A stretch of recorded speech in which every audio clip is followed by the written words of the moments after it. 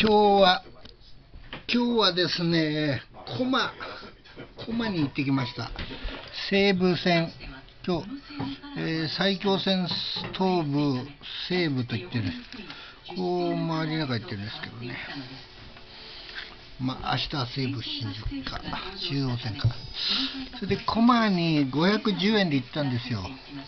家から、ドン・キホーテで、ドンキで空気をパンパンに入れて、まあ、結局今日パンクしたんですけどね、それで、椎名町山山手通りを南下して椎名町椎名町で西武池袋線に乗るんですよ。輪行バッグを入れて、まあ、前輪外して。それで、えー、小手差しとか行って小手差し反応。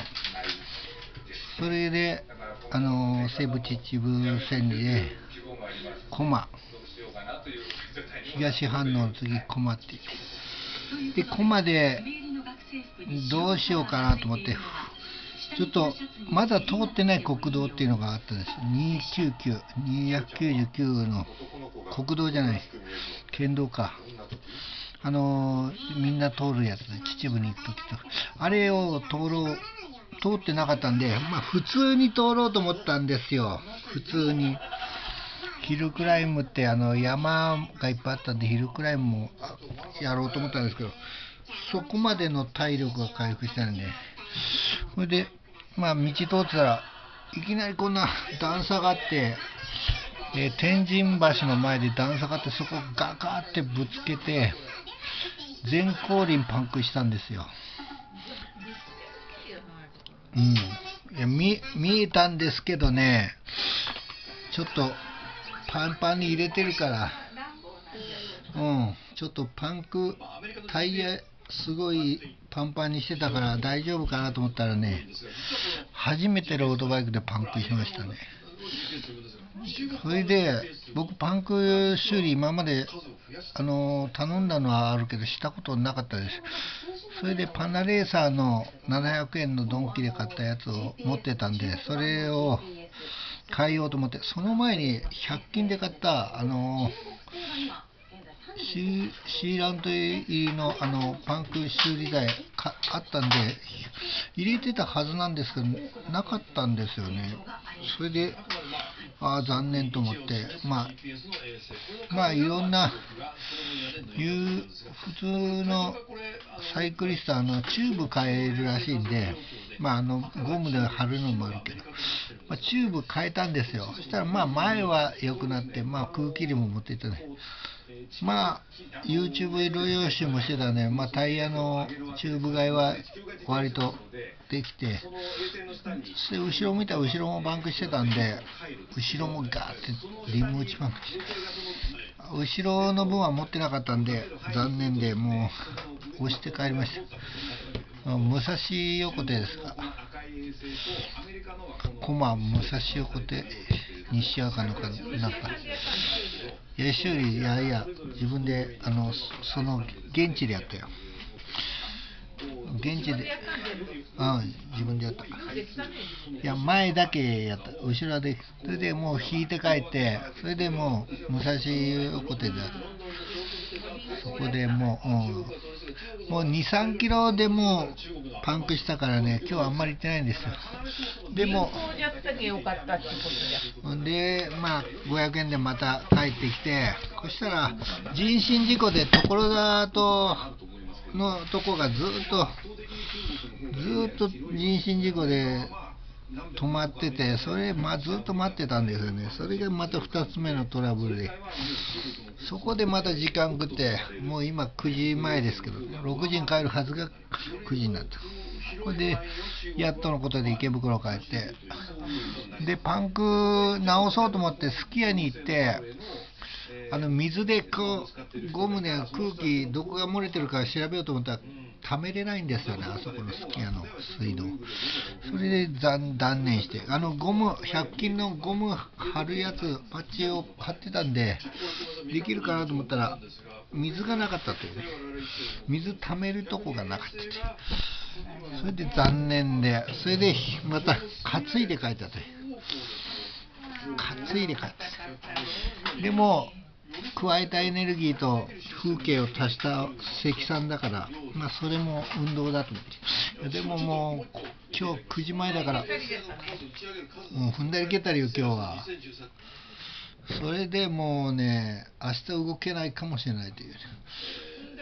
もう明日動けるようにしないといけないんだったんだけどちょっと残念でした。まあで2015年には再稼働の許可が下りましたが冷却水漏れなどのトラブルから稼働は遅れ2017年本格的な発送電まあ図書館で まあ図書館で地図をちょっとだコピーしてコピーしました。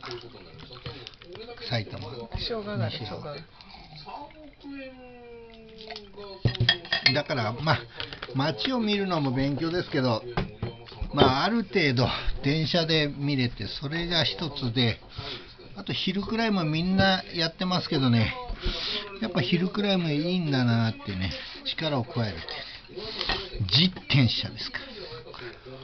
昼くらいも僕もやるかもしれない。ただ僕はビジネス研究だと。ま会見で私なんかハンディキャップを持たせて質問をされた記者がございました。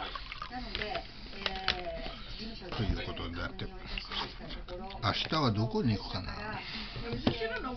ああれくださいしじみの味噌汁と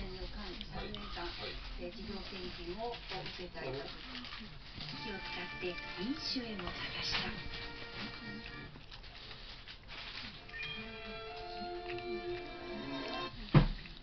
大事な部分。応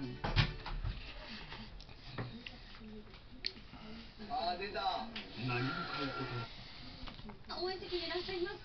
今日スタメンですが、古賀選手、ご主人のご活躍どうご覧になってますか？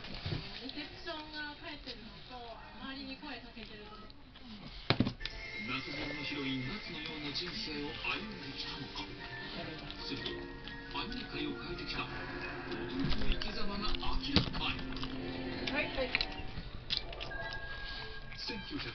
年に宮城県仙台市に生まれシェイクスピア全集を愛読していた文学少女だった玲子さんは出世夏空の夏同様に夢を追いかけて上京すると入社試験を経て1957年22歳の時まああの西武線は何回も行ったことあるんですけどロー。ドバイクは初めてでしたね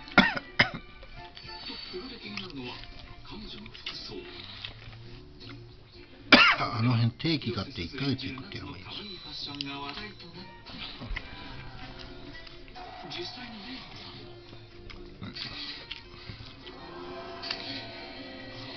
最近は若い人たちもいっぱい来てくれて嬉しいな。若者がいろんな方法で来てくれてこれ池袋は命屋ですからね彼女の才能はすぐに認められ女性としての異例入社5年目で作画監督にスピード出世するとアニメ界の偉人たちあ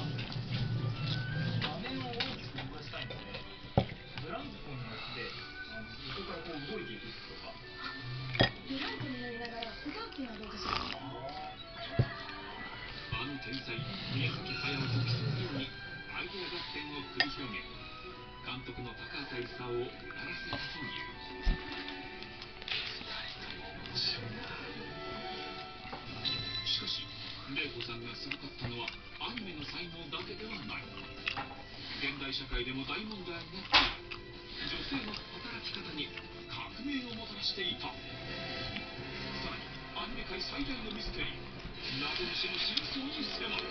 あの虫の真相ここでニュースをお伝えします。北朝鮮の非核化をめぐるアメリカと北朝鮮の実務者協議を控えちょっと多いけど残しとって多いかったら。ねどうぞどうぞ。接触が始まった模様です北朝鮮の非核化をめぐるアメリカと北朝鮮の実務者協議を行うために現地時間3日北朝鮮のキム・ヨンギル首席代表はスウェーデンに到着しました。明けた4日午前から米朝双方の実務者が人生の縮図だったねストックホルムで接触しています。はい。経験を積むのがいいと思います。人口200本やろうかな。500円ずつまああの田村さんってサイクリストの田村さんは飛ばしたものとみられます1日500キロ走る北朝鮮は今月2日自転車で500キロ？うんアメリカよう走れるね我々は時速50キロで走って10時間は走らなきゃってこうん。いや人形時速25キロで20時間走ればいいそれはちょっと体壊す国道ずっと取ればいい重要はいけない。まあやればまあでもちょっと僕には危なすぎてまだできん。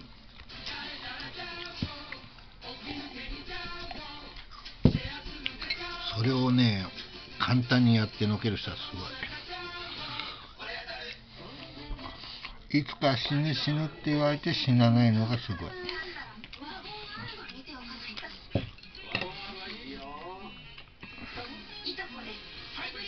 安全安全っつっても死ぬ時は死ぬから。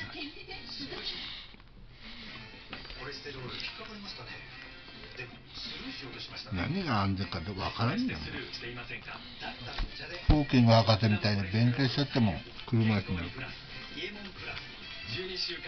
ラま稀な例で。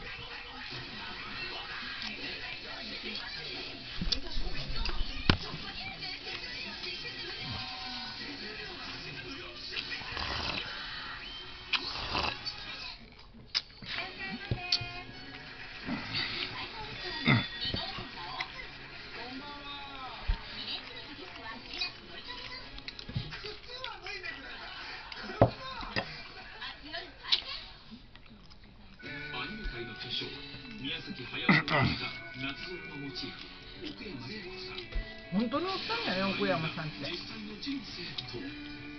え宮崎駿の何？モデルになった人って保育園全部落ちて。え宮崎駿さんの何？もアシスタントいや一緒に働きよったんって。あもうない。うん。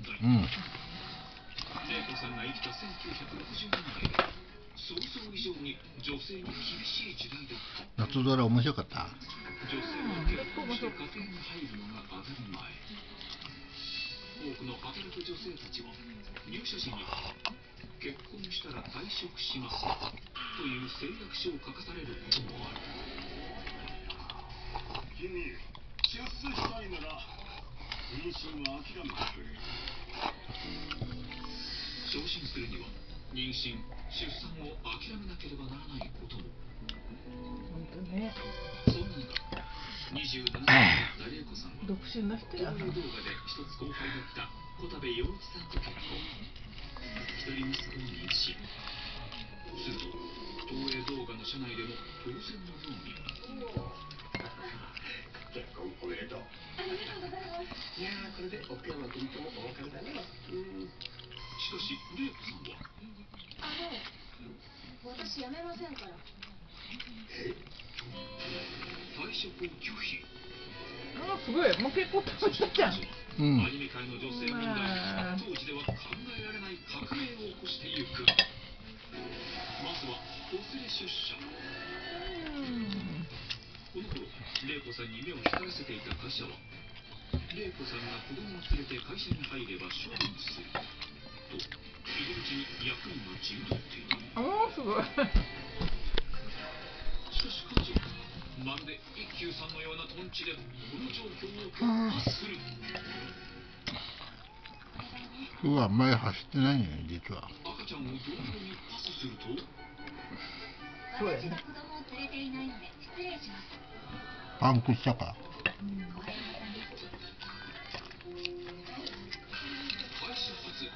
子連れ出社に成功この時赤ちゃんを受け取ったのがごちそうさまでした。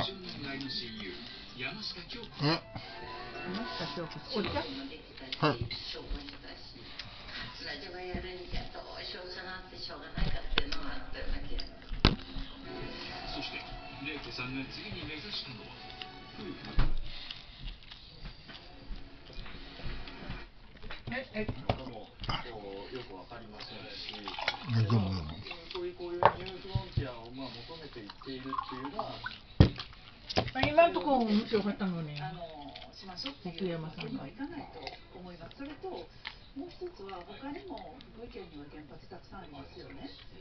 で他は全くそれこそこの人の特殊な問題がハグ様あんたどうなったかってことは気にならんの全然。何が？話の